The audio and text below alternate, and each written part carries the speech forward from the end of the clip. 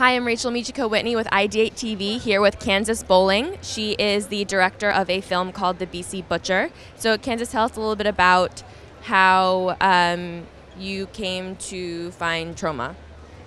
Um, I, I made the movie with um, without any real plans for it. I I was 17, just got out of high school, and I just wanted to see what I could do with it. And so I finished the film, and I wanted to see if I could reach out to Troma because I was a really, really big fan. And I found Lloyd Kaufman's email, and we started talking to each other over email. And he was going to be in town in LA, um, so we met up, and he, they eventually distributed it.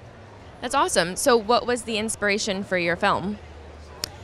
Um, it's it's a prehistoric slasher film, the world's first prehistoric slasher film. So it's very inspired by um, the very small Hey, subgenre. Let me know when the camera's on. Let me know when the camera's on. Let me know when the camera's on. It's BC Butcher. This little uh, girl at 17 wrote it. It's Kansas Bowling, everybody. She's phenomenal. My name, it's not important, Kato. Kaelin, and I'm telling you something about this little girl here is now doing BC Butcher 2. Already, it's sold, and we're going to have some fun with it. I play Rex, but it's not about me. It's about Kansas Bowling. Thi- This is the star of the film, Kato Kaelin. I know he doesn't like being on camera, but No. Is the camera on? Is everyone here? You're the star of the film, but you don't like being on camera? I don't because you know what? I every every so often I notice people staring at my butt. For instance, yeah, cut it out there. Yeah, yeah, kiss this there, pal. Kiss this there, Toxie Boxy. Okay, I gotta sell stuff. Great, buy this, everybody. You can go online, right, Kansas? uh-huh, it's on Troma's streaming service, Troma Now. It's it's free for the first month, and you get to watch movies like this. That's awesome. Um, I will definitely check it out. Thank you for. Wait, What is this? IdeateTV. Oh my God, I've got that on my Netflix box. But I hear it's good. Yeah, it's really good. Anyways, that was Kato Kaelin, the star of BC Butcher. Cool. So, um, and so you're working on BC Butcher 2 now?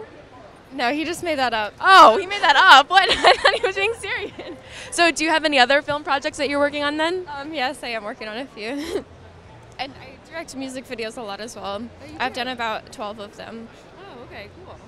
Well, um, anything else that you want to add about? Oh, oh, we have another guest. BC Butcher, BC Butcher, look at this. Here's the wonderful producer, Lloyd Kaufman, and he's holding a photo of me. I can take no credit. I am only in awe of Kansas Bowling's talent, serious uh, artist, guts, and um, uh, brilliance. And uh, in the same way that Trey Parker came through the Troma loins, Kansas Bowling will be the next James Gunn, in my opinion. James Gunn wrote, directed, uh, no, he wrote Tromeo and Juliet and then went on to do Guardians of the Galaxy, which he wrote and directed. And uh, uh, I think Wow. Kansas is in that league. So, look out for Kansas. You heard it here.